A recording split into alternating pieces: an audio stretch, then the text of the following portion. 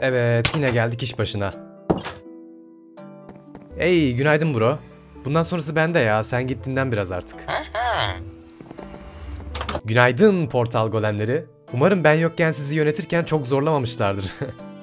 Bu portal golemlerinin sırf oyuncular doğru portala yönlendirilsin diye gösterdiği çaba inanılmaz gerçekten. Oyuncuların da bundan haberi yok çünkü taşınırken donuk haldeler. Acaba tüm bu hepsini öğrenselerdi ne düşünürlerdi çok merak ediyorum cidden. Tamamdır her şey yolunda galiba şu anlık. Biraz dinleneyim bari ben de. Hadi ama ya sabahın köründe bu saatte ne ters gidebilir ki yani? Bakalım sorun neymiş? Yardım edin. Portalda sıkıştım. Hmm, sorun ne biliyorum galiba ya.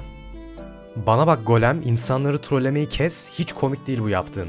Oyuncularla bir daha uğraştığını görmeyeyim tamam mı? İşine geri dön şimdi. Bu golemler manyak cidden ya, tam troller gerçekten. Hadi yine başlıyoruz. Bu sefer ne oldu yine acaba?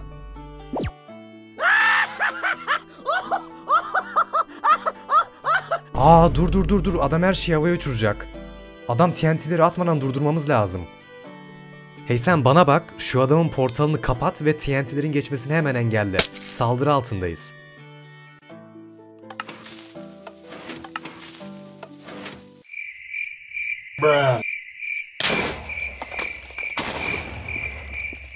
Oh be bayağı yakındı. Adam resmen tüm portal merkezini havaya uçuracaktı. Hey patron, bir sorunumuz var. Hı? Ee, yine ne var? Bunu görmen lazım patron. Lan bu kadar pigmen buraya nasıl geldi abi? Yaratıkların doğma oranı arttı galiba nedense. Hey Sam bu pigmenleri rastgele portallara dağıt hemen. Elimizden çıkarmamız lazım bunları hızlıca. Bence insanların evlerinde birkaç pigmen de olsa çok bir sıkıntı çıkmaz ya. Meanwhile,